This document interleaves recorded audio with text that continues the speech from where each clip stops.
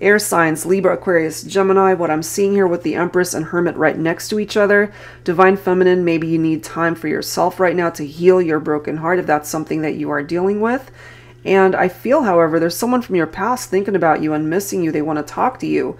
And we've got the clock right here. It does say need time, takes time, and time cycles, time to heal.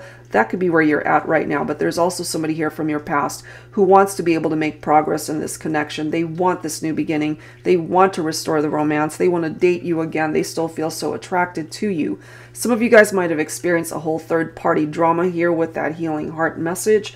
We've got a twin flame that's presenting itself here. The communication card says, I wish I could say what I really feel. Someday I will. So give them a little bit more time to communicate with you. Again, I'm feeling this is someone from your past. It could be an ex. Whether you want them back or not, I feel they're going to find a way to interact with you and communicate.